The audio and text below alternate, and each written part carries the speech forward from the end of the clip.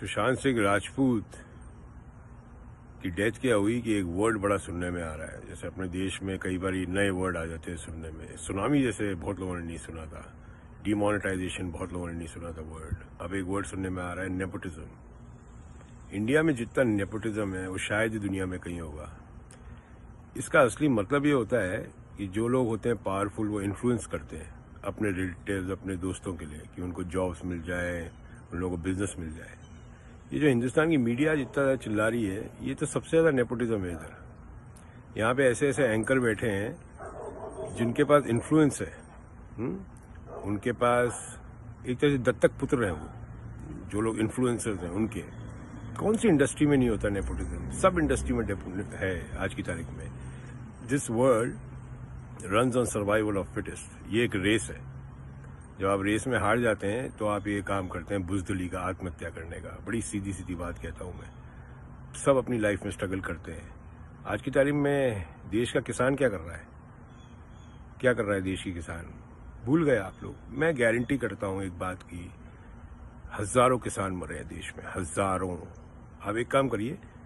मुझे इमीडिएटली इस वीडियो के नीचे छह किसानों का नाम बताइए, जो आपको पता है, जो लोग ने आत्महत्या करी थी। नहीं बता पाएँगे। बुलबुले हैं, मैंने कहा है, आपकी मीडिया बुलबुले हैं, सोशल मीडिया बुलबुले हैं, सब भूल जाएँगे आप लोग। You gonna forget everything you know कोई नई बात नहीं है। बहुत सारे एक्टर्स हैं। Bollywood is a grey world okay यहाँ पे भी गिरोह बैठे हैं।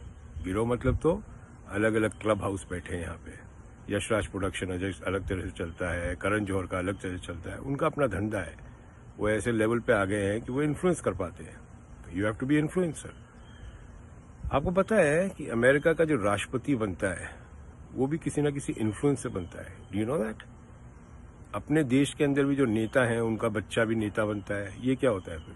दिस इज़ ऑल्सो नेपोटिज्म वो अपने बच्चे को टिकट दिलवाते हैं।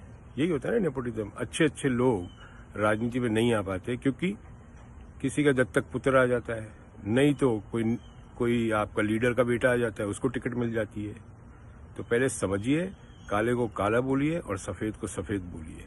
हर जगह नेपोटिज्म है इस दुनिया के अंदर। ऐसा कोई देश नहीं, ऐसा कोई बिज़नेस नहीं जहाँ पे नहीं है नेपोटिज्म ओके तो ये जो आज की तारीख में अपने देश की मीडिया 24 घंटे से बड़बड़ करने में लगी है ना, सबसे ज़्यादा तो ये टिकी हुई है नेपोटिज्म में।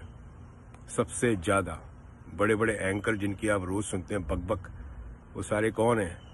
ऊपर से इन्फ्लुएंस लोग हैं सारे के सारे। दैट इज़ ऑल्सो नेपोटिज्म एक कहानी बताता हूँ। इंडिया न्यूज़ की एक एंकर हुआ करती थी तन्नू शर्मा करके। गूगल कर लेना। टीवी स्टूडियो के अंदर दवाइयाँ खा ली थी उसने। आत्महत्या करने की कोशिश करी थी। भूल जाते हो आप लोग। आप लोगों को कुछ याद नहीं रहता है। ओके तो स्टॉप दिस नॉनसेंस काले को काला बोले, सफ़ेद को सफ़ेद बोले। अगर समाज में और देश में बदलाव चाहिए, नहीं तो बुलबुले हो आप लोग। इससे ज़्यादा कुछ नहीं हो। थैंक यू सो मच जय हिंद।